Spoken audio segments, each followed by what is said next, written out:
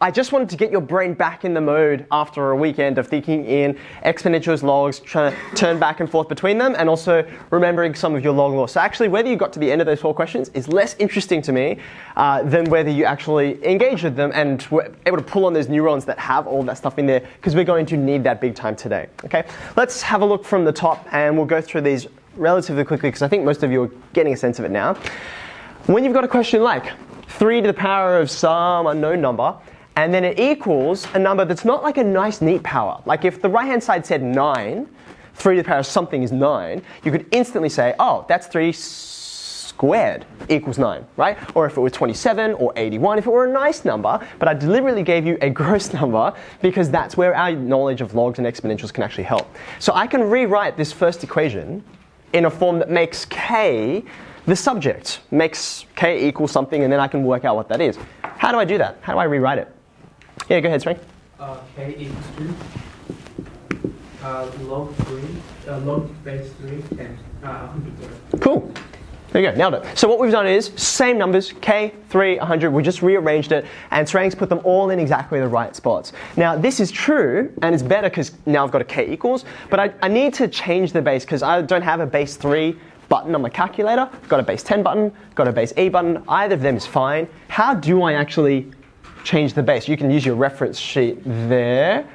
Yeah, go ahead, Kira. Do you want to tell us what? Yeah? Um, can, can you just go log base 10 100 over log base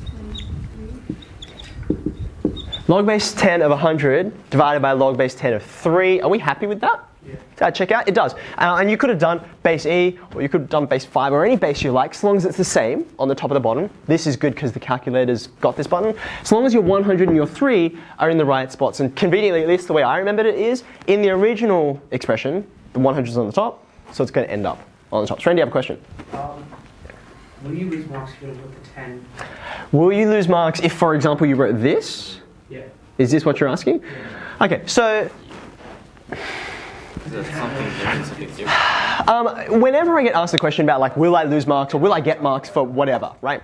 I always hesitate because um, I can't always, I, in most cases, I can't give like a, oh, this is always what will happen, right? Because it sort of depends on how much is the question worth, what's the question really assessing. Is this like the whole question, or is this on the way to doing some other thing? Like, is this part of it, a small part of it, right? My initial instinct is say, actually, that's probably fine because sometimes you see it written there. In fact, normally if you see it written in a question or in a textbook, this, right? What base do you think is implied? There has to be a base. What do you think the base is? E. Now, in a textbook or in a test, this is sneaky, right? Pretty much anywhere, except for one exception, I will tell you in a second. Um, anywhere you see it with no base, it's implying E, which I know is a bit weird because there is a single place, a place you use a lot, that doesn't mean that. Where's the place that doesn't mean that? You've got it right in front of you. It's your calculator. We've talked about this before, but I'll refresh your memory. Why is it that on your calculator, it's actually back to what we were suggesting before. Why is our calculator say LOG with no base is base 10? It's because your calculator is a particular kind of calculator. Do you remember what kind? It's a scientific calculator. Scientific calculators are useful for what kind of notation? Scientific. Scientific notation, which has a base of 10. Okay, so that's why it's there. The reason why I think it's sort of fine either way is because, well, if it's the same base on the top and the bottom, that's what makes change of base law work. Did someone get a number out of this, by the way? Sorry, I was. Oh, you, were you going to ask another question? Oh, yeah, please. Yes, So if it is 4.19. just 4.19. Yeah, go ahead, Will. if it is just log, do we have to assume that it is base E? So I'll, I'll just just for clarity, just for clarity, I'll say it one more time. Anywhere in the world that we're doing maths and you see LOG with no base, right? Except on your calculator, it means base E. Um, it's part of why you know we actually we do differentiation with explanations, exponentials and logs, and we focus on E and not other bases because that's where all the interesting maths kind of happens, right? So we get to other bases as a separate thing, which is what we're doing today. But everywhere else, you can assume it's E. Okay, and don't forget, by the way, I asked you to approximate. Um, please say that you do, because it isn't actually exactly 4.19, it's roughly. Okay, happy times. Can we have a look at the second one? We should be able to do this a bit quicker because you sort of used the same skill that we used before. We can say again. Yeah, sort of. I went from uh, an exponential equation to a log equation here, and I want to go in the opposite direction. So, what should I write first? base 4 k equals Two and a half. What's the question? Okay, so I've got the question. Once I've written the question, yep. How do I how do I start to reform that? A equals two. K equals.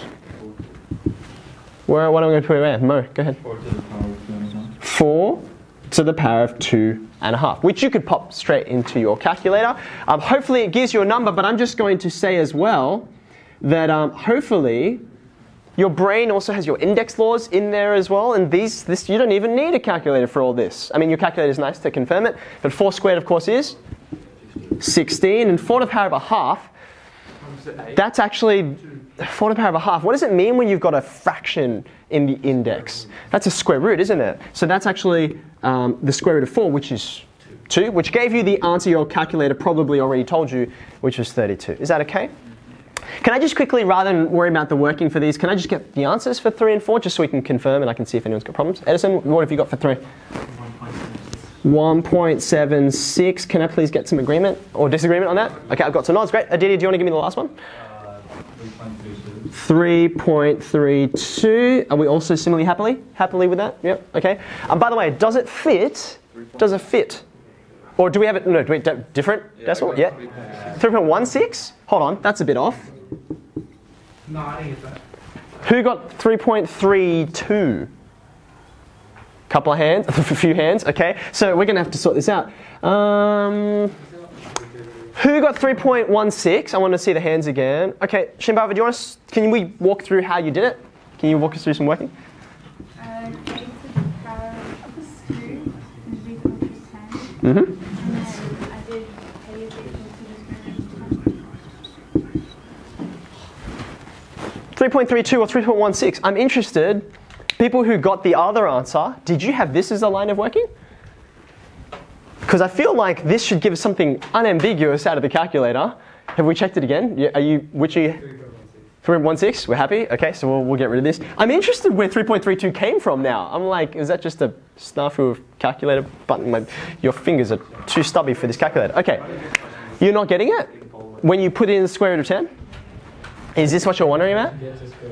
You're wondering how we got to the square root of 10. Okay, let's, um, let's wind back for a second. So Shambhavi said k squared equals 10. Are we happy with that line? Yes, no? You're like kind of, you're looking really, you're like, you're not impressed. Okay, so let's have a look. Here, we're converting a log equation into an exponential, right? The way that I remember it is always that the base down here comes from the base over here. When you go back and forth between an exponential and a log, the bases will stay the same. So you get base here, base here. Uh, base here turns into this base over here. And then even though it's sort of a crass way of thinking about it, all the rest of the numbers, they just kind of swap sides. You see how k and 10 are together in the log equation? Well, k and 2 will be together in the exponential equation. Sophie, did you want to ask a question? Uh, I kind of did it like a completely different way, Yeah. Got the same answer. You got this as well. Can you tell me, talk me through? Let me get another color. They're over here. Can you talk me through how you did it? Um, well, instead of like converting it using that law that we were using before, I just went straight into changing the base. Um, and then I got log 10, 10 equals 2 log 10k. Pause for a second. Let me catch up with you. Is that what you just said? That's on your left-hand side. Equals 2. Equals two. Okay, cool. Go ahead. Um, and then I just literally just put that down and just solved this, like got rid of that um, denominator. So I got log 10, 10 equals 2 log 10k. And then just divided the other side by 2 to just get log 10k by itself. And then took the log from that side. And then used that ball that we were using earlier. So then I got 10 half log 10. Wait, sorry. 10 to the power of half log 10, 10 equals k. Damn. Okay, so let me see if I'm, understanding Sophie right. What she's done here, this fraction is the same change of base law we used right at the top. Yeah, do you remember that right from the beginning? So she's chosen 10. It's actually a really good choice because I gave you a number which is on your calculator. When she goes through and divides through by 2, that's going to end up up in the power, just like we did here, okay? But thankfully, log base something of something Go back. This is like a basic log law, right? Log base 5 of 5 or log base 800 of 800. What's that equal to? That's 1, isn't it? So that's 10 to the power of a half equals k, which actually is equivalent to this, which is why we get the same answer that we got before, even though it was quite a different path. Okay. 3.16, I'm pretty happy with that. Well done. Okay.